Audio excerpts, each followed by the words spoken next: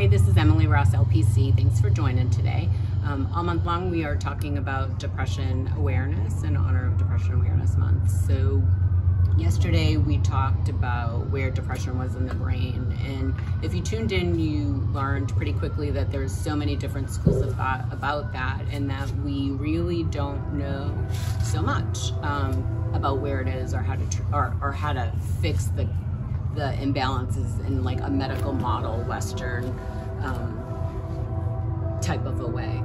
So before we start, I want to check in about the coping skills that we talked about. When we first got started, I put a couple of episodes on there about foundations for doing this work that we're going to be doing together. We are going to be getting in touch with some emotions that you might not have felt for a long time and uncovering some emotions that you're not used to feeling. And before you do that, I really want you to have a good coping practice in place. So if you haven't watched that segment, please watch it. If you have, I'm going to ask you to check in about how the coping ahead is coming along. I know it's a different concept to try to cope every day. I want to hear about how it's going. If you're having a lot of success with it, encourage somebody. Tell us what we're what you're doing that's working. If you have some barriers or struggling to get that practice implemented, ask for help and get support from the people around you. Um, or the people in this community really is what I mean. So coping ahead today, I tried something new. I did roller skating. That isn't exactly new, but it's been two decades since I've done it, so my brain felt like it was new. If you saw the videos, you would agree. It looked like it was my first time ever roller skating, so I feel like it hit like a coping skill. Um, so that's what I did new. So tell me what you did new, and, and let's keep encouraging each other to implement this coping ahead practice. So you know, I say I'm an LPC, I'm a licensed professional counselor, and I think people assume because of that, I would start talking about depression in an intellectual sense, like what it is in the brain or, or what it is in the mind, if you think of the mind body, um, spirit, spheres. You would expect me to want to talk a lot about the mind, but the truth is, I really like to start with the body because the body is where our feelings are we don't call them thinkings, we call them feelings, and we call them that because they are a set of sensations in our body.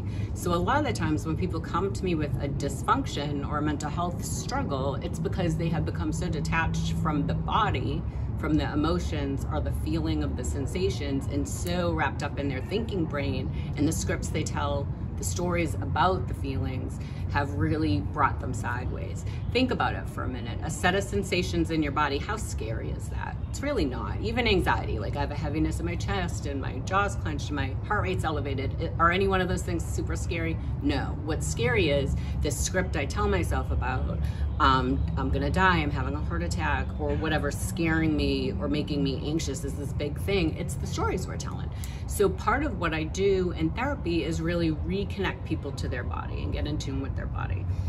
Another problem that occurs is that when we get detached from our feeling brain or the sensations in our body, we start to um, forget what feeling we're even experiencing. And you cannot release a feeling if you don't know what it is you're feeling. So, uh, a lot of what I do is reconnecting people to to the feelings in their body. And one question people ask a lot is why? Why am I feeling this? Um, and they want to chase the, I call it chasing the why. We want to chase the why down to some formative experience, probably in our early childhood, where something horrible happened or something hard happened, and that's why we feel this depression. And we feel like or think that if we figure out the why, if we unearth the why, the feeling will magically go away but it's not going to because all of that chasing the why, that's the scripts you're running. It's your thinking brain again, the thoughts you're thinking about that feeling. So you don't have to chase the why. It is not necessary, in my opinion, it's not necessary to figure out why I feel afraid of being alone in the house. It doesn't help me to learn why. It, it does help me to lean into the fear and release it. And we'll get to that in a couple of um, later segments. But once you understand what's happening in your body and that your body is where the emotion is housed, you can leverage that using biofeedback. So emotions happen in two different ways, or the registering of an emotion happens in two different ways. Either something happens and I become anxious, which is all of those body things that I just mentioned, like the elevated heart rate, the um, the ten tension in my jaw, the heaviness in my chest. So if I know that's what anxiety feels like, if I teach my body to calm itself down, the lowering of my heart rate, um, and I breathe deeply and try to release the heaviness in my in my chest, and I I purposely unclench my jaw. If I do all those things, my body is registering that the anxiety is passing, and so my mind will follow and say, oh, okay, we're done being anxious. So once you realize the connection between how the mind and body communicate feelings, you can really leverage it to your benefit and help it help yourself heal using both of those component components. So let's talk again about Western and Eastern medicine and what they think about where um, depression is in the body and how to treat it. Western medicine is going to be pretty simple. No matter what we talk about, it's going to go back to two things. It's going to go back to verbal therapies and um, psychopharmacology. So they are going to give you medicine and ask you to come talk to me about it. That's really our approach to um, most things in Western medicine. Eastern practices are more focused around mindfulness and movement. So think about that. They tell you to quiet your mind and move your body. See how they lean into how your body naturally works with emotions. So I'm quieting my mind. I'm shutting down those scripts and I'm noticing the sensations in my body through movements, right? Same, same with yoga. Think of, you can think of some Eastern medicine practices, I, I bet, Tai Chi, that, um, that lend itself to that different type of philosophy. So using a, I tend towards an Eastern approach or a more um, holistic approach to emotions. And I believe that emotions that we don't process in the moment or that we don't recognize, um, we stuff them. And when we do that, different emotions tend towards different organs in our body. So if I grew up and I was not allowed to express sadness or grief, I would stuff that emotion it's going to house itself in my lungs. And that's going to man manifest its way in a, itself in a lot of ways. So it could be asthma or uh, chronic upper respiratory infections. It could be um, any number of things uh, COPD later on in life. So as time progresses and you're housing more and more of the emotion it will become more and more dysfunctional. That organ will become more and more dysfunctional. So in I'm getting eaten alive by mosquitoes.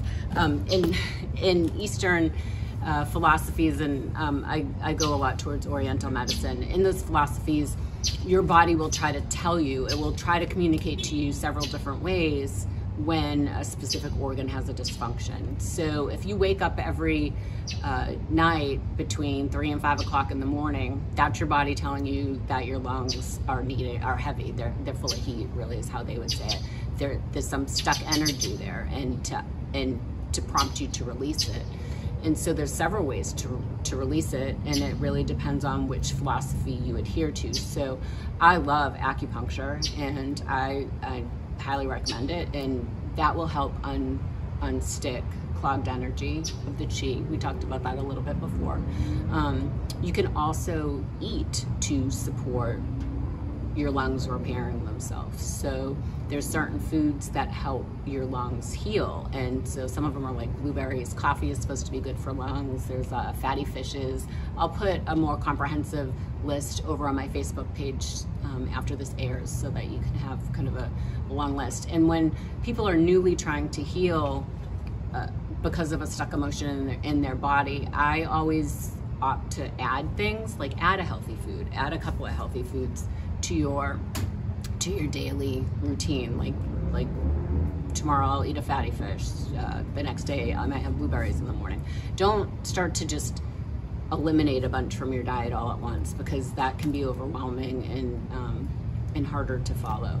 Eventually, through this um, this series, I hope to help you eliminate some foods in your in your life that really fuel your depression. There's a lot of foods that really can help keep depression stuck in your body, and we'll talk about those too. We're going to get a, lot. A, a more in depth with nutritional psychology because that's really popular right now, and there's a lot of interest in how eating can support your mental health and not just your physical health. So, um, so I start with the body because that's where your feelings are, and I focus on unsticking emotions that way in support of um, helping them in your mind. So if you have any questions, which I hope you do because that was a lot and it was really quick, if you have questions about it, I want you to put them in the comments and I can expand on some of the concepts that you need some more help with or you want more assistance understanding. And I'm going to be putting some worksheets on the Facebook page to help you identify where in your body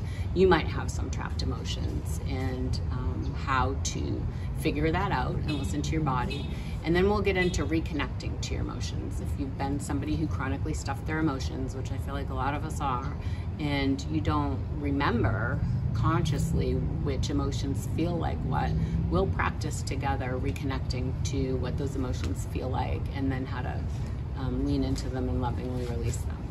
So stay tuned, come back tomorrow. Don't forget to subscribe to, um, to Emily Ross LPC and um, 30 Minutes Coping Ahead. You're gonna get lots of homework.